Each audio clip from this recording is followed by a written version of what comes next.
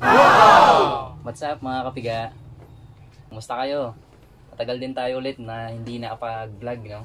dito kay Motojutsu. So for today's video guys, mag-unbox tayo ng dalawang helmet dito sa ah, kanilang category na nag-stand out sa price at pati na rin dun sa kanilang quality. So samahan nyo ako hanggang mamaya guys. I-unbox natin tong LS2 Storm at yung LS2 Rookie. Abangan nyo guys yung mga makikita natin dito sa dalawang helmet na to. Babalik ako guys. Stay tuned.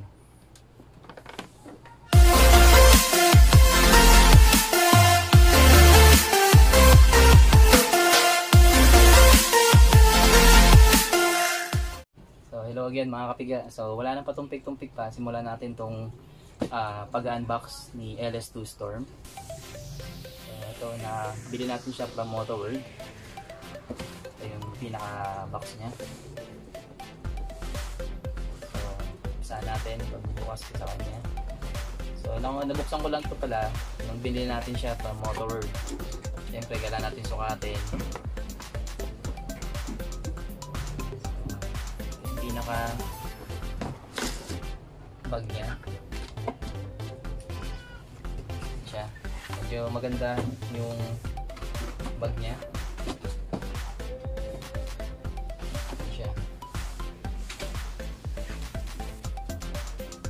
Makapal. Kaya kung dadalhin nyo siya sa ride, pwede kayong may dalang bag na rin. Malalagyan niya. Saan natin to?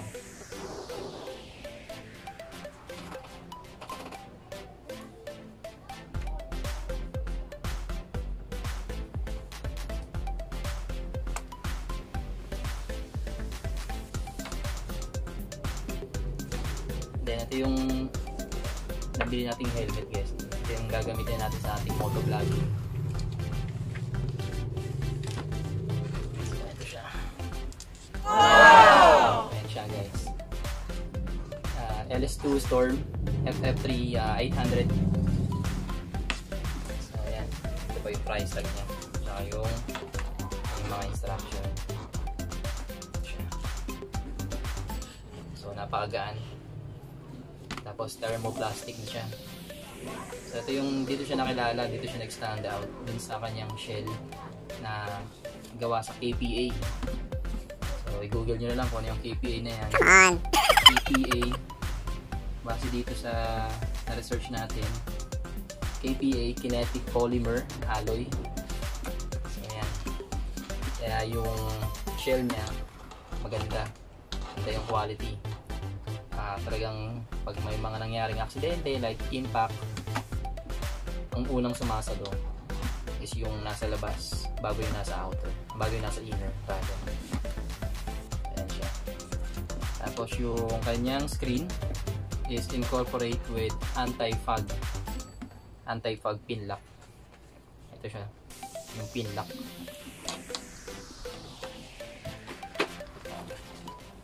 Tapos ito meron din siyang kasamang sun visor. Siyempre yan. Kasi clear lens tong nasa unahan. So dual visor siya. Meron siyang sun visor. Which is napakaganda. Pero naghahanap din ako ngayon ng isang ah, iridium lens para dito. Yung smoke. Para pag nasa sunny weather na tayo ulit. Mas maganda siya. Ah, air inlet ito yung air inlet niya. Ganda yung pagkakagawa ng air inlet. Isa sa baba, sa chin. At sa taas.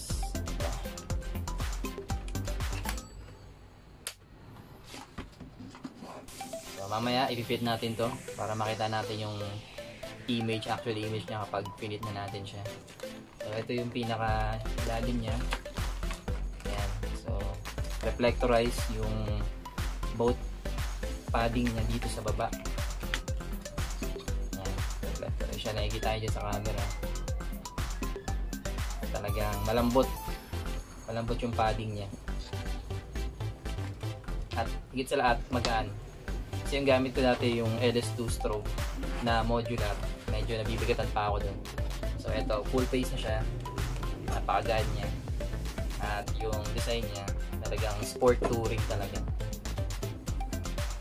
Ah, tsaka nga pala guys, no, itong ah, LS2 Storm na to, ah, fit na siya kahit nakasalamin ka. Ayan. Meron siyang parang fit kahit nakasalamin ka. So, yung mga may gradong salamin dyan, kailangan nyo talaga nung suot siya habang naka-helmet, fit na siya. Ayan siya. Very comfortable. Tapos, meron siyang antibacterial tsaka ergonomic padding. Ito nga yung padding niya. Antibacterial na siya. Washable na rin siya. Matatanggal siya kung kailangan. Para kung lalaban natin siya. Ayan. So, tatanggalin lang natin yung kanyang ah, plastic. Cover niya sa visor.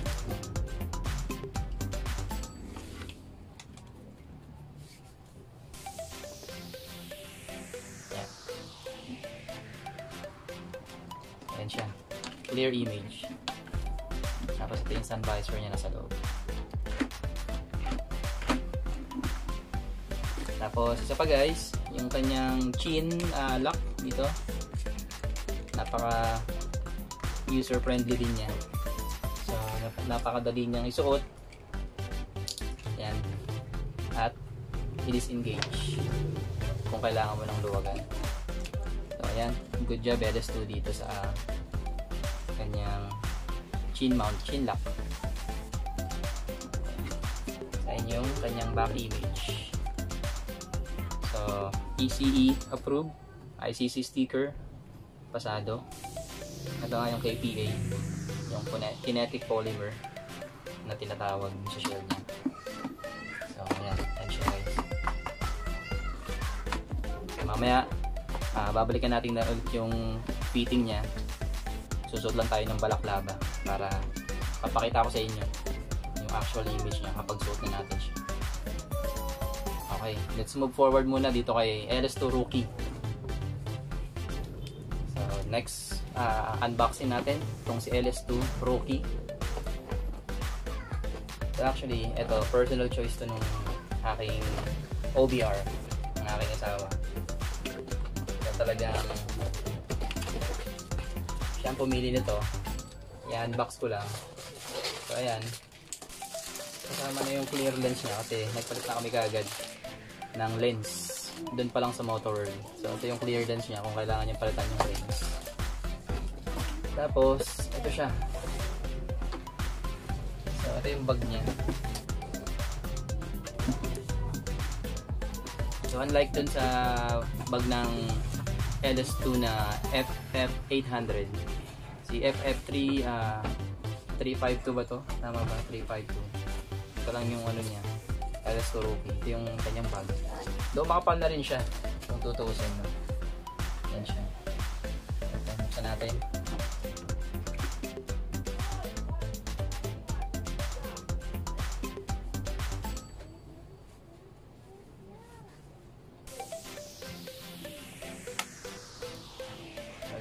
Feeding helmet ng aking asawa. Wow! Okay. In terms of design, napaka-striking niya rin. Sport touring. Stick din siya. At anti-scratch na rin yung kanyang mga ah, kanyang mga lens. Yung clear lens niya, pati yung kanyang itong pinata natin sa motor world mismo. Ah, napili naming dark lens kasi gusto ng asawa ko yung silver. Ayan siya, silver siya. Air inlet. Good na rin siya sa air inlet. Both chin, tsaka dito. Para sa ventilation. At sa kanyang chin lock, almost the same. And quick release chin lock. Padding. Yan, malambot din. At ayan yung kanyang design.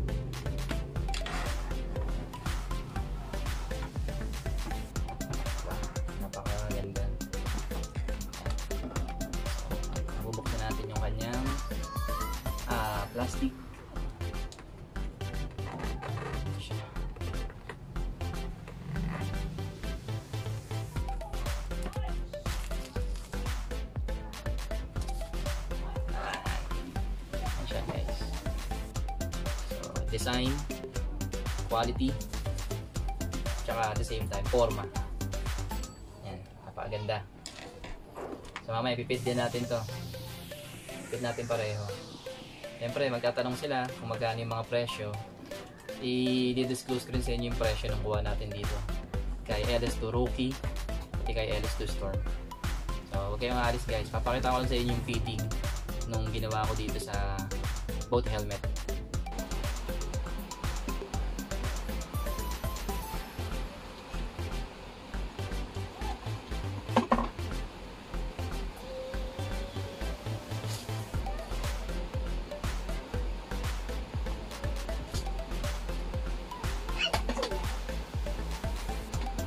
Yeah, visor.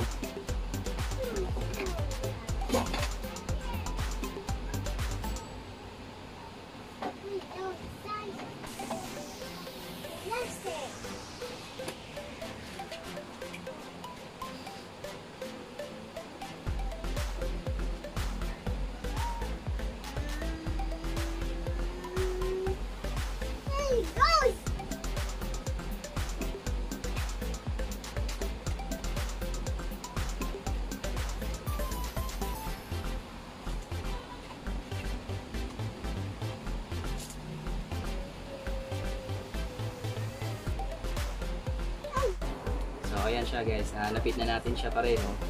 So, both helmets uh, fit sa amin mag-asawa. So, itong uh, price naman niya sa Motor World. So, si Storm, nagkakalaga siya ng 4,950 sa Motor World. Ewan ko na lang sa mga online uh, sellers kung magkano yung price niya. Then si Eresto Rookie, ang price niya is around 2,600. So, yung lens is uh, about 700. Yung pinalitan namin yung lens. So, parang more or less 3,000 plus. So, maraming maraming salamat sa pagsama niyo sa akin ngayong araw sa pag-unbox nitong two helmets na to. At subaybayan nyo ulit yung mga adventure namin dito kay Moto Jutsu. Maraming maraming salamat guys. Uh, ingat palagi. Ride safe mga kapiga.